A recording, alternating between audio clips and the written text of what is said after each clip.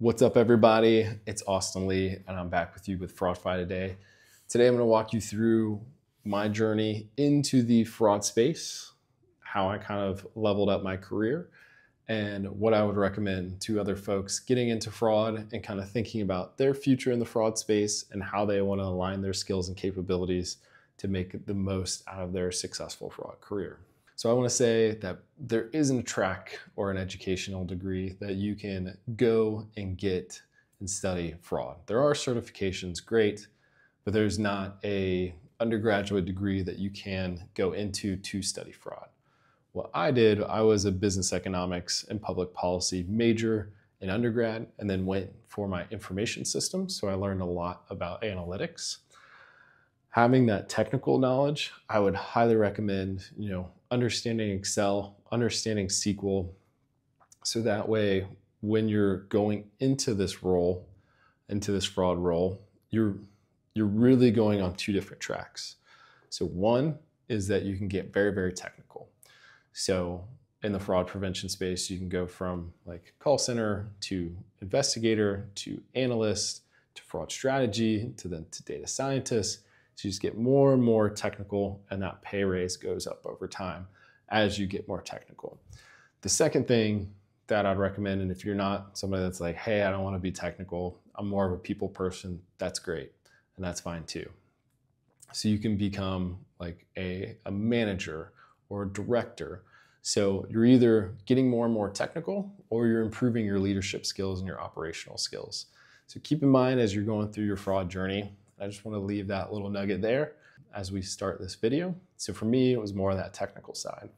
So going into consulting, I got to uh, work on one particular AML project.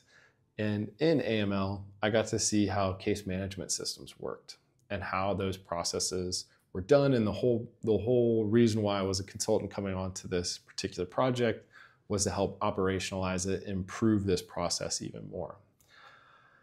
So that's exactly what I did. And then having that knowledge, while it's not the same, it's not one for one. AML is not fraud, but it does, if you're going to cast a wide net, you're probably going to get a little bit of both.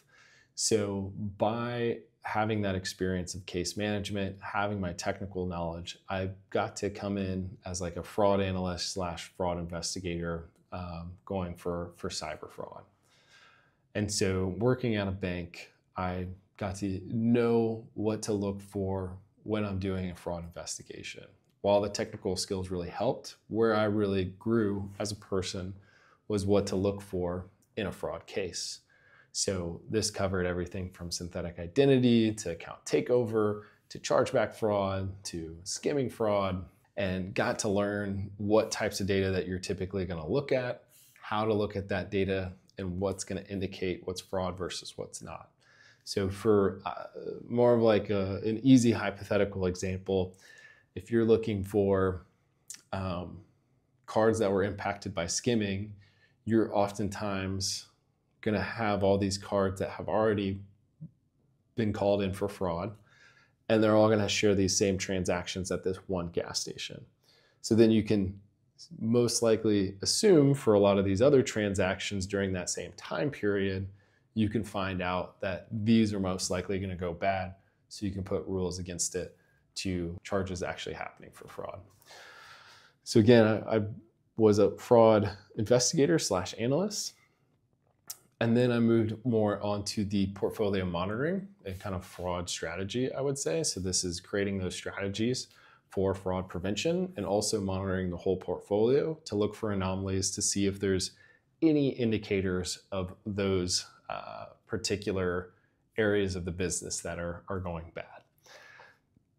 So this, I learned a little bit more of Python and SAS, got even more technical. While I did have some of that knowledge from my, my education, this is where I really did a deep dive into those areas.